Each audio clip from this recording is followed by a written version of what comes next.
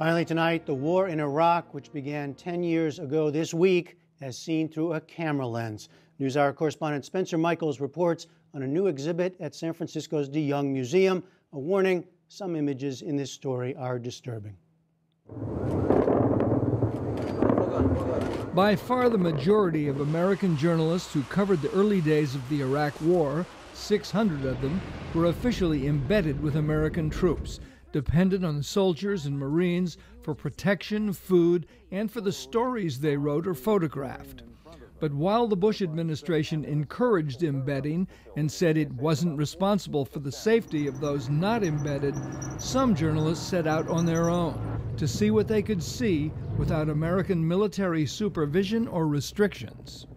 With uh, Iraq, this is what I knew about it before I went the first time. Thorne Anderson and Kael Alford, a married couple who live and teach in Texas, were among the unembedded photojournalists who covered Iraq back then.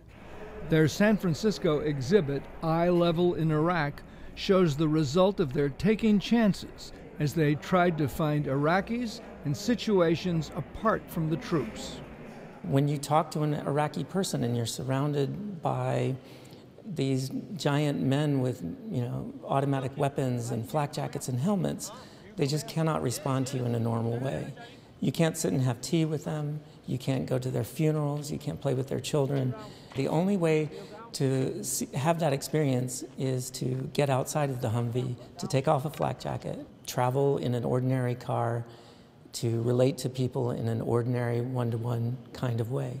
The time we were working between 2003 and 2004, it was much safer place to be an unembedded journalist in Iraq. That by the time we left at the end of 2004, journalists were being targeted more specifically.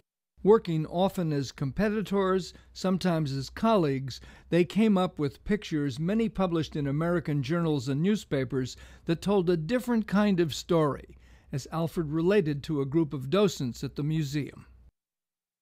I wanted to be sure that um, I could make photographs that revealed that, that no war is clean. This girl, this is an eight year old girl who was killed in a market on the outskirts of Baghdad and so this bomb, we, we think, was probably launched by an aircraft carrier, a U.S. aircraft carrier in the Persian Gulf, and landed in this busy marketplace, killing more than 50 people. These are her brothers who carried her into basically, this is a morgue area inside a mosque.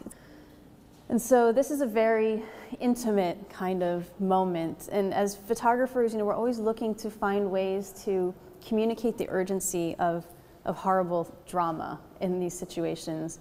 Um, and you know, I actually was it was challenging for me to make this picture. And it's been one of the photographs that most I get the most reaction from from people because it is so intimate and rare to see somebody this vulnerable and this young and she's so perfect, you know, she seems alive. Anderson's photos tell stories as well. Stories he admits are sometimes beyond the photographer's control.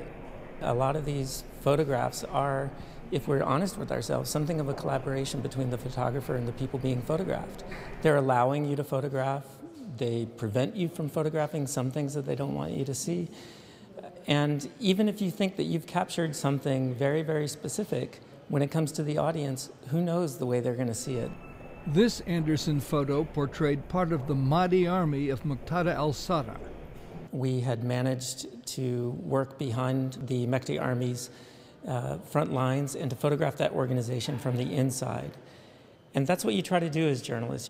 I'm photographing these two men and uh, the son of one man repairing an RPG that had been damaged in battle.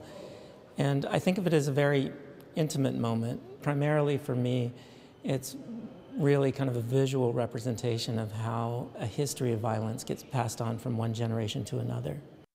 As close as he got to the people, Anderson says he tried to remain objective.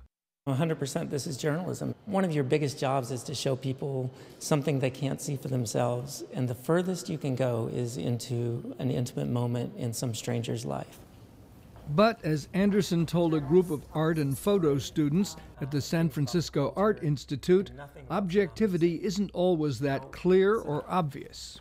I have to navigate this sort of territory where it's not always clear um, when, the difference between what a journalist and what an activist is. There are certain things that, for me, are very black and white. Um, I, I, call myself a journalist, and uh, I think for my purposes, I think it's really important for me to, to maintain a distinction between when I'm acting as a journalist and whether or not people perceive me as an activist. It doesn't mean that I don't see injustice in the world and doesn't mean that I don't try to directly address that injustice. It's definitely something that's always in the back of my mind. At the museum, only a few of the photos show American soldiers, yet the specter of war permeates the exhibit. And that's the point, argues Julian Cox, chief curator at the museum.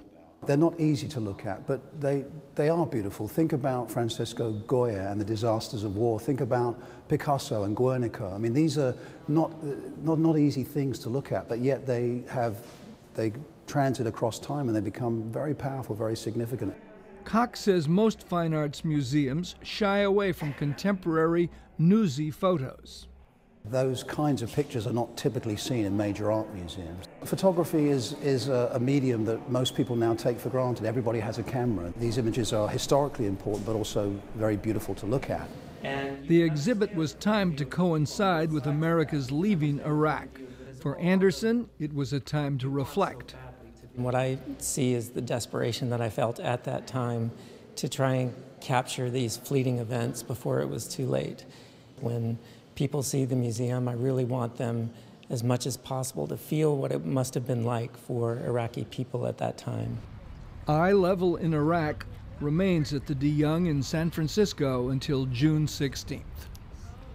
Online, we have more lasting impressions of the Iraq conflict from two veteran broadcast reporters ABC News' Martha Raddatz and NPR's Deborah Amos.